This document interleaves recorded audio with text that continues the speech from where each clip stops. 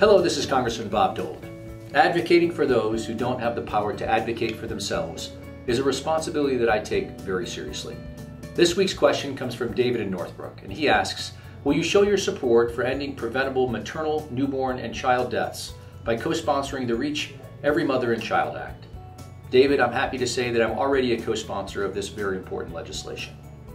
Just this week, I visited Feed My Starving Children in Libertyville.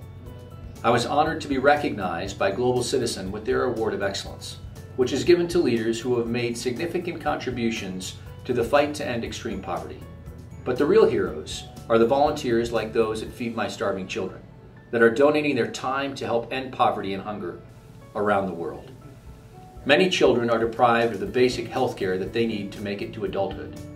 Together with partners like Feed My Starving Children and the Global Poverty Project, I'm committed to providing a voice to the voiceless by helping to ensure the health and safety of our global community, especially children. The Reach Every Mother and Child Act would create a coordinated, comprehensive strategy to reduce maternal and child deaths. It would streamline global health programs so that they can reach mother and children as efficiently and effectively as possible. As the greatest source for human dignity in the world, the United States must help these children in need. If we join together and raise our voices, we can make a real difference in the lives of struggling families and children around the world.